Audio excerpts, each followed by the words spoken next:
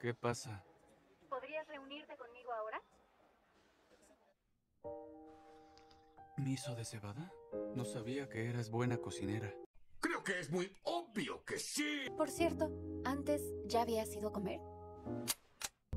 Aprecio tu esfuerzo de cocinar algo para mí, pero no vuelvas a usar este método. Me siento estafado. He estado pensando en lo que creo que es un plan perfecto para que la clase sepa hacer el examen. ¿En serio? Estás exponiendo a toda la clase con esta información. No me opongo al contenido, pero ¿me dejarías hacerte una petición? Esto va a ser interesante. Me gustaría que participaras en el concurso de ajedrez que pidió la clase A, ¿Qué? ¿En ajedrez? ¿Por qué yo? porque pareces la más adecuada para que le enseñe. Bien, lo haré. Perfecto. Entonces, ¿cómo practicamos? Deberíamos practicar durante la noche. No creo que sean oponentes imbatibles. Eso es lo que estos datos me dicen. Pero el resto te lo dejaré a ti. Algunos centímetros más tarde. Jaque mate. Sí, pero todavía no podría ganar sin que tú me dejaras.